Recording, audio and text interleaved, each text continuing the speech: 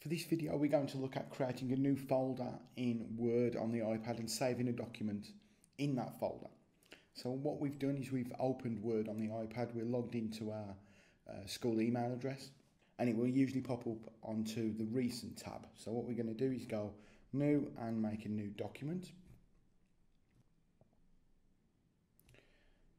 And we will just put some dummy text in here.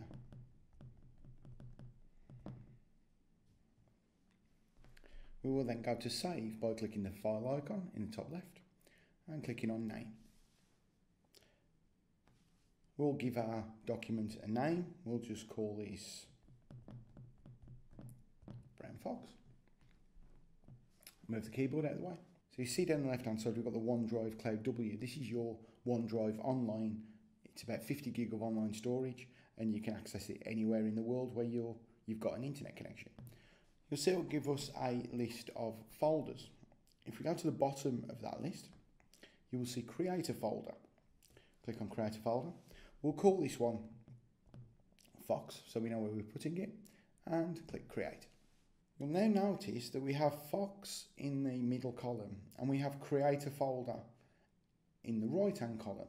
This is because what we're actually doing is we're going down the tree and we can see that a bit more in that if we create a folder there, and we can call this brown fox.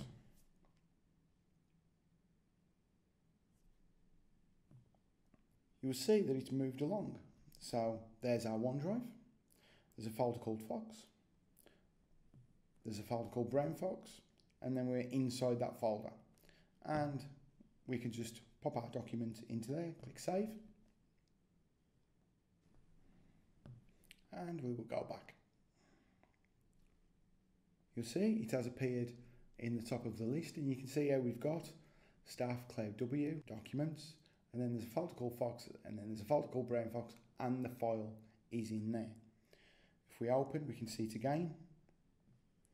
So as you can see, OneDrive, Fox, Brown Fox, and there's our document. And that's how you can create folders in Word for Office and save documents in them.